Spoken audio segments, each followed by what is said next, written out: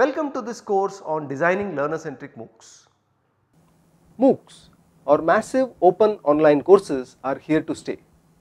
They are one way to make quality educational content accessible to a large number of learners.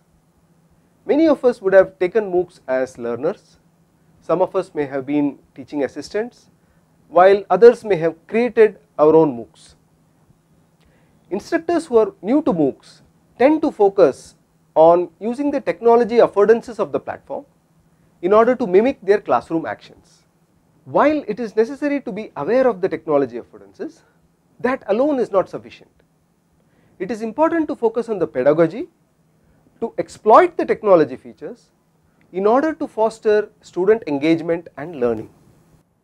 A learner centric approach is one broad pedagogic principle that is known to be effective for student engagement and learning in various settings. It incorporates principles of active learning, peer learning, formative assessment and so on.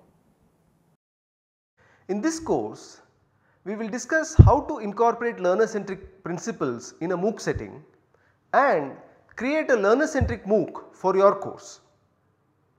This course itself is designed by applying the learner centric MOOC model. That is instead of simply having videos for you to watch, there are activities that need to be done, there are discussions that need to be engaged in and so on. For example, you will now do an activity wherein we will provide you with a set of resources each catering to a different aspect of MOOCs. You can choose the resource that appeals to you most followed by the quiz at the end of the resource.